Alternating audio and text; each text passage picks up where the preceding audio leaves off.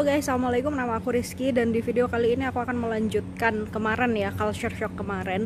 Jadi culture shock kali ini aku akan membahas tentang uh, lagi-lagi kaget budaya Aku selama kuliah di Bangalore ini ya. Meskipun aku baru datang seminggu Tapi ada beberapa hal yang membuat aku kaget Sebagai mahasiswa internasional. Oke, yang pertama.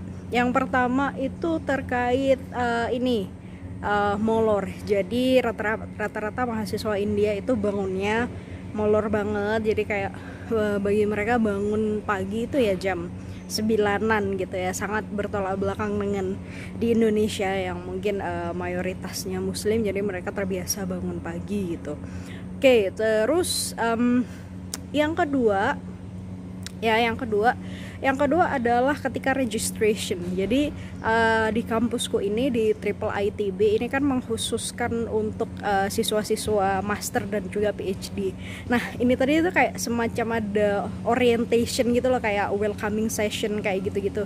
Dan ternyata orang tuanya masih ikut gitu meskipun itu mahasiswa master. Jadi I was like oh my god what's really going on here? gitu jadi kaget Terus yang kedua, selama kan ini hari ini juga ada kayak semacam registration gitu buat new student.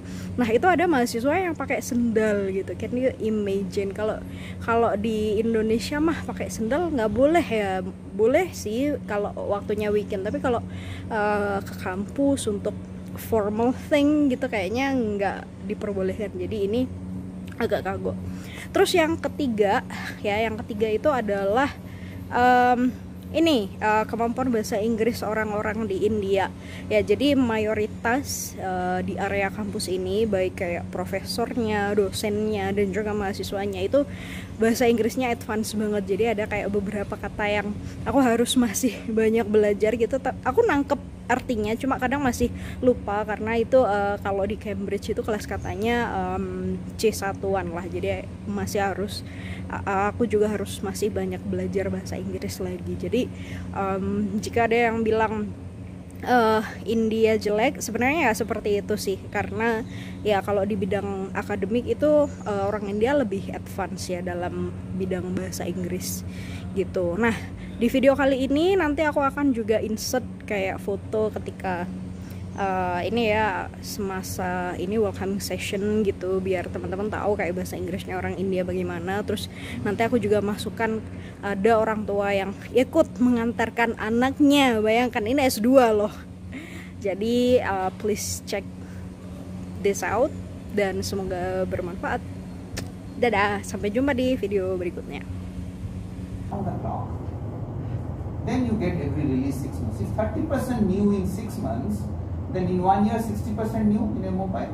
One and a half years, 90% is new means 100%. So what I wanted to say you is this, what please listen is very carefully the example I am showing, and you buy mobile also. So what I wanted to say is that every one and a half years, any device, laptop, this one, any device you pick up in the world, or two years maximum, 100% change in two years. So 100% change in technology means the technology is moving very fast and you belong to that area now. You're in computer science, history or digital society, any area. So that means I have to be self-sufficient, self-reliant to learn that how, after graduation, how I move fast along with the change of technology and understand the subject. So I have to be self-dependent. These two years, learn this one integrate.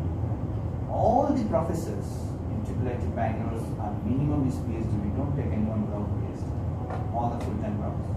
And each one of them does niche area research. Each one of them. And you slowly within six months, within a six months, see which professor, which area you like, you latch to them. Slowly go and meet them. They will tell, I'm very busy. Don't feel bad, they're elder to you. Go and ask them. Who will be teaching in this program We'll get it's 9 o'clock is a little early in Bangalore traffic, but yes, we'll try to get as many as of them possible.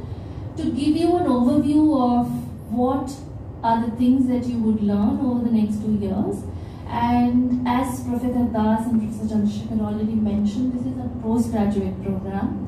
So we also expect students to be self-driven. So you should already have some interest in your mind and you should be able to, you know, or willing to explore new interests here.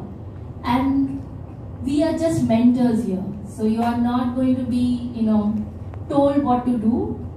We are there to hold your hand, mentor you, and nurturing your interests, nurturing your, you know, uh, research and capabilities and all that you want to you know, flourish here.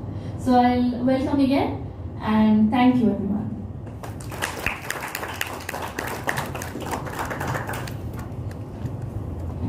So next I'll request uh, Commodore Sridhar to uh, share some important information about uh, our institute.